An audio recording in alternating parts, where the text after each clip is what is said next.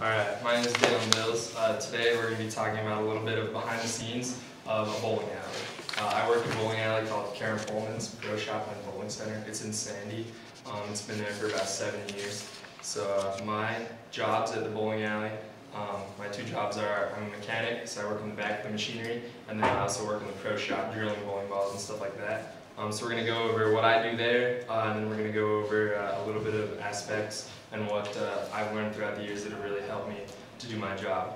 So as a mechanic, uh, it's really honestly pretty boring. You just sit in the back. Um, behind the bowling lanes, there's just area behind the machines where uh, parts and stuff are stored and stuff like that. Um, basically how a bowling machine works is uh, the ball hits the pins and then the ball and the pins both fall into a pit and then there's two wheels. One wheel spins this way and one, spins this way. One carries the ball up, and then the other one has little grooves in it that carry the bowling pins up and then sets it onto a track, and then drops the pins into these little buckets, which then you set the pins down for you, and then you do it all over again.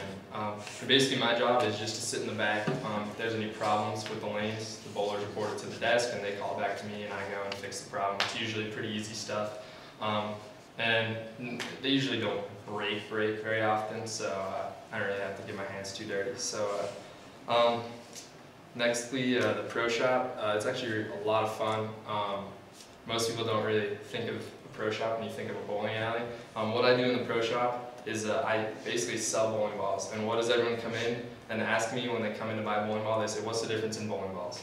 Well, the difference in bowling balls, um, bowling balls are made up of two parts. There's a core inside of a bowling ball. I actually have one here.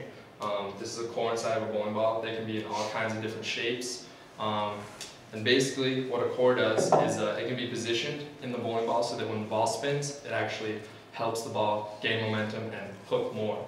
Uh, the other part of the bowling ball that helps it hook is the outside, the cover stock. It's made of uh, a reactive resin and uh, it, it's basically just works to grip the lane.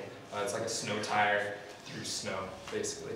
Um, so uh, there's two ways to drill a bowling ball. You can drill it conventionally, which is where people put their fingers in all the way to the middle joint on your finger, um, and that's what bowling balls at, at, a bowling alley are, because they're all conventional. Um, and then when you get a little bit better, you go to what's called a fingertip, fingertip drilling, and that's where you only put it into your very first knuckle right here.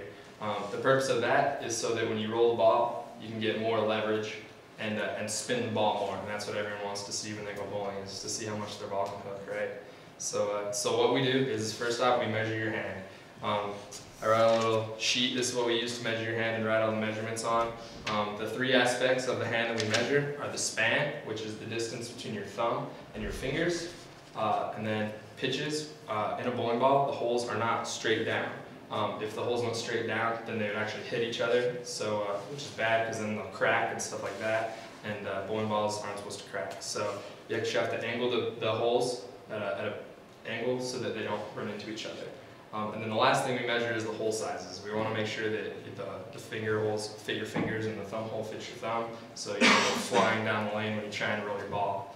So uh, uh, the last thing we do when we're drilling bowling balls, we put what's called a layout on the bowling ball. Um, like I mentioned before, the core inside of a bowling ball can be manipulated. Um, there's markings on the outside of the ball to tell us where the core is, and that we can position this core anywhere like underneath your fingers to make it so that when you roll it, it'll do different things. You can make it hook a lot, you can make it hook not a lot. So, uh, and how we drill it is it's just basically a drill press, a standard drill press with a, a jig on it specifically designed for bowling balls. Um, and we put just a T on the bowling ball to tell us where to drill the fingers and where to drill the thumb.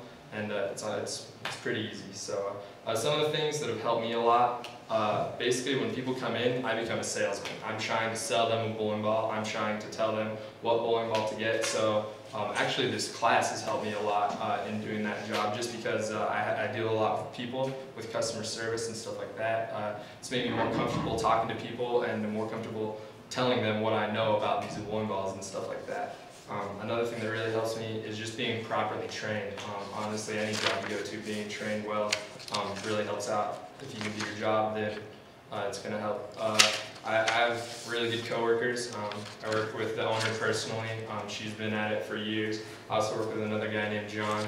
He's, he's great. He's been on the PBA tour. Uh, he's drilled bowling balls for 50 years. He's really good. If I have any questions, I go right to him. Uh, so it's a pretty sweet gig. So at the end of the day, it's all about just making the customers happy. So thank you.